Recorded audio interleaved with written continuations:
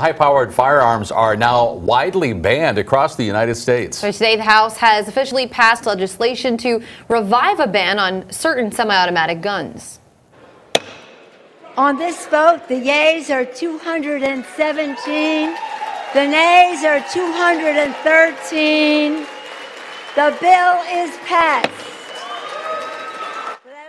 The bill in response to multiple mass shootings that have happened in the U.S. recently. President Joe Biden responded to that legislation being passed, saying, quote, the majority of the American people agree with this common sense action, end quote. The bill is likely to go nowhere in the Senate.